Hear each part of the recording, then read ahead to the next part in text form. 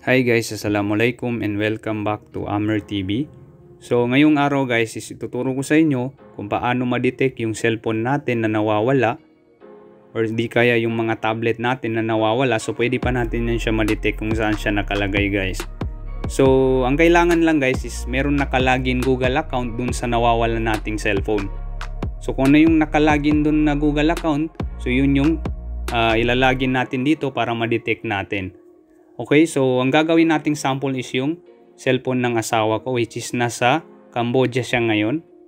So susubukan natin kung madidetect ba natin kung uh, nandun ba talaga sa Cambodia yung cellphone natin or yung cellphone ng asawa ko. Okay, so first, punta tayo dito sa Play Store and then type natin ito find my phone and Google find my device. So, kailangan naka-install yan siya guys. So, kailangan naka-install yan sa cellphone natin. Then, after installing it, so, open natin. Ayan. So, ito yung makikita natin guys. So, dito tayo sa sign in as guest. Okay. Ayan. So, ilalagin natin ngayon yung Gmail ng asawa ko guys. Okay. So, ilalagin natin para ma-detect natin kung saan ba nakalagay yung cellphone, na, cellphone niya. Okay, next. Okay. So, ayan. Yung password. Then go.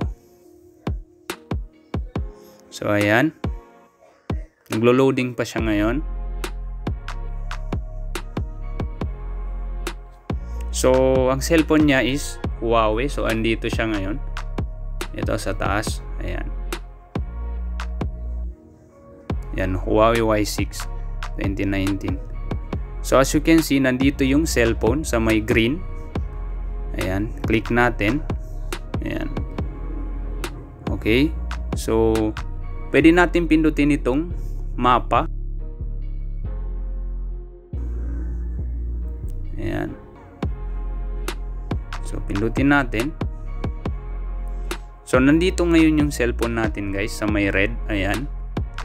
Which is nandito sa picture na to. Malapit dito. Ayan.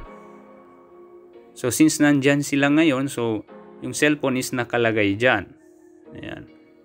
So, nasa Cambodia yan siya guys. Ayan. Krong Shrimp Rip. 172.52 Cambodia. So, ayan.